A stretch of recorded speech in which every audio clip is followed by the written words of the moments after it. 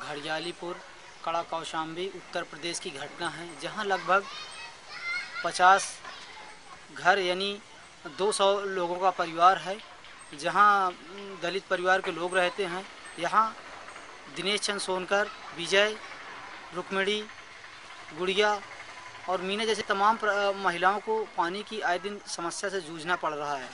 एक हैंडपम्प होने के ज़रिए से यहाँ लोगों को सुबह घंटों लाइन लगा लगा के रखना पड़ता है। हमारा समस्या ये है कि हम एक किलोमीटर पानी भर के लाते हैं।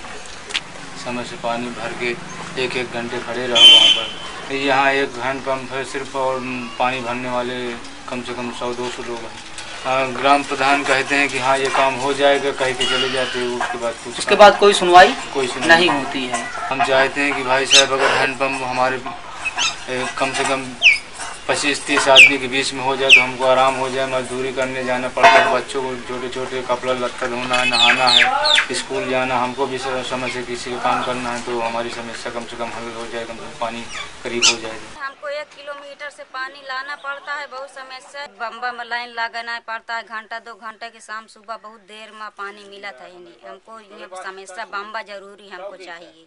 ग्राम सभा के प्रधान पानी को बहुत दूरी पड़ता है हम भरने आते हैं। दो दो घंटे एक एक घंटा पाँच पाँच मिनट लाइन से पानी मिलता है। यहाँ जो दिनेश चंद सोनकर, विजय गुड़िया, रुक्मिणी, मीना, इनके अलावा भी तमाम लोगों को जो पानी की समस्या हो रही है, इनसे इनको निजात मिले।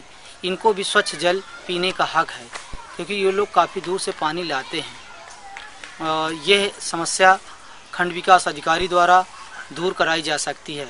खंड विकास अधिकारी का नंबर है निन्यानवे अट्ठारह सतहत्तर पचास डबल ज़ीरो।